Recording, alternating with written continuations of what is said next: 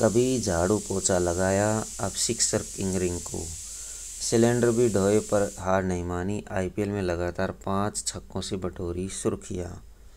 Indian premier league IPL में Kolkata night rider के लिए अंतिम ओवर में लगातार पाँच छक्कों से हार के मुँह से जीत छीन लाने वाले क्रिकेटर रिंकू सिंह के लिए कामयाबी इतनी आसान भी नहीं थी।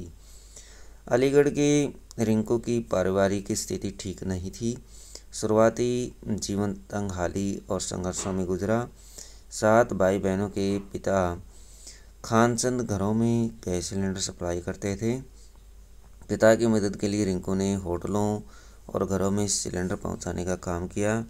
ऐसा समय भी आया कि उन्हें ट्यूशन सेंटर में झाड़ू पोछा करना पड़ा।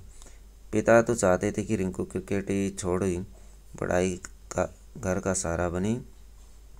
उन्होंने पिता की मार खाई, रिश्तेदारों के ताने सुने, पर क्रिकेट नहीं छोड़ी। आज रिंकू की कामयाबी पर पिता को नाज है। यूपी के लिए अंडर सिक्सटीन क्रिकेट खेलने से पहले घर की माली हालतें सुधारने के लिए पिता ने जब उन्हें ट्यूशन सेंटर में झाड़ू पोछा लगाने को कहा तो रिंकू का मन नहीं माना। पिता ने कहा, इस बारे में किसी को बताने की ज़रूरत नहीं है। सुबह जाओ, सफ़ाई करो और चले आओ।